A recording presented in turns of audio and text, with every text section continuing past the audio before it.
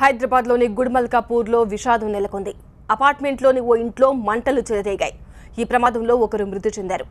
Cigarette తాగుతుండగా window కర్టెన్లకు మంటలు అంటుకుని ప్రమాదం జరిగినట్టు తెలుస్తోంది. ఈ ప్రమాదంలో వృద్ధుడు సజీవ దహనమయ్యాడు. మృతుడు రిటైర్డ్ ఆర్మీ ఉద్యోగిగా తెలుస్తోంది. గుడిమల్కాపూర్లోని విజయశ్రీ అపార్ట్మెంట్లో ఈ ప్రమాదం చోటు చేసుకుంది. ఈ ప్రమాదంలో దాదాపుగా ఆ ఇంట్లో ఓ గది మొత్తం తగలబడిపోయింది.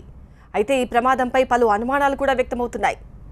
సిగరెట్ కట్టన్లకు అంటుకుంటే అది గదిలో ఉన్న వ్యక్తి వాటిని ఆర్పే ప్రయత్నం చేయలేదా? ప్రమాదం జరిగిన సమయంలో తలుపు గడి ఎందుకు పెట్టుకున్నాడు? దట్టంగా పొగలు అలుముకుంటే ఇంట్లో ఉన్న వాళ్ళంతా ఏం చేస్తున్నారు?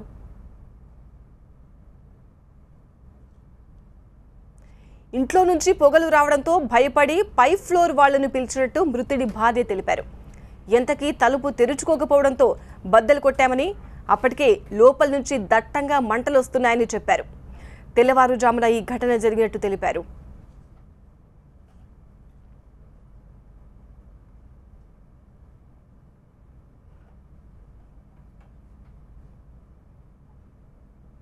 అబ్బాయి వచ్చి తలుపు బాగా కొట్టేస్తే లోపల నుంచి మంటలు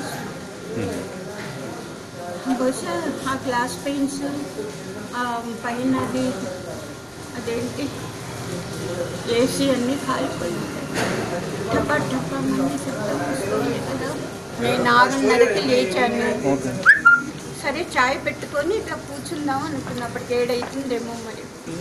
షార్ట్ సర్క్యూట్ అయితే అక్కడ ఏమీ ఉండదు. మరి ఎలా వచ్చాయి మంటలు? సిగరెట్లు తెగ తాగుతారు బహుశా అది కింద పడేసే బదులు పరుపు మీద పడేశారు. తెల్లవారుజామున నిద్రపోతున్న సమయంలోనే ఈ ప్రమాదం జరిగినట్టు పోలీసులు తెలిపారు. సమాచారం అందుకున్న వెంటనే ప్రమాదం జరిగిన ఇంటిని పరిశీలించామని చెప్పారు.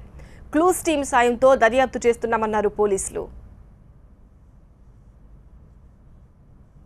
రిటైర్డ్ ఆర్మీ ఆఫీసరు ఆ, పడుకొని ఉండగా ఆ, ఇప్పుడు తెలిసిన సమాచారం ప్రకారం సిగరెట్ బుక్స్ కంటుకోవడము దానివల్ల మంటలు వచ్చి చనిపోయిందని తెలుస్తున్నది.